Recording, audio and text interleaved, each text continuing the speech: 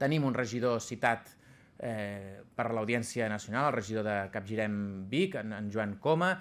Tenim una alcaldessa que la setmana vinent va declarar al jutjat també per, pel fet de, la, de tenir l'estelada eh, al balcó. Tenim diversos ajuntaments que són requerits doncs, per haver-se adherit a l'Associació de Municipis per la Independència, per haver decidit pagar els tributs a l'Agència Tributària Catalana, per solidaritzar-se precisament amb la declaració del 9 de novembre del Parlament i davant d'aquesta ofensiva mm, judicial no volem que l'Estat se surti amb la seva, no volem que aconsegueixin el seu propòsit, que és eh, bloquejar les iniciatives polítiques del, del, del poble català eh, en lluita per la seva independència. No volem que aconsegueixin aquest propòsit polític i, per tant, necessitem apel·lar a la mobilització i apel·lar a la fermesa i només amb missatges clars es mobilitza. I, per tant, a través de desplegar, com dèiem, amb un calendari i un, i un pressupost, la declaració del 9 de novembre, es podrà mobilitzar doncs,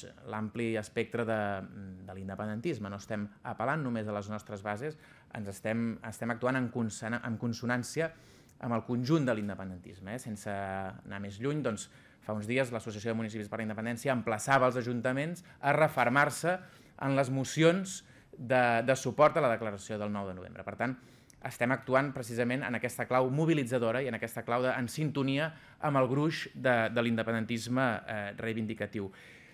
I ho fem, evidentment, amb la vista posada més enllà i amb la mateixa filosofia que ens va portar a aprovar la declaració del 9 de novembre, que és la següent. Sense desobediència no pot haver-hi independència. Sense desobediència no aconseguirem la independència. Aquest és el tipus de missatge clar que entenem que necessita el, el moviment independentista en la conjuntura actual i amb aquest, i només amb, aquest, eh, amb aquesta intenció presentàvem la interpel·lació de fa unes setmanes i la moció en la qual s'ha transformat que es portarà a debatre en el, en el proper ple.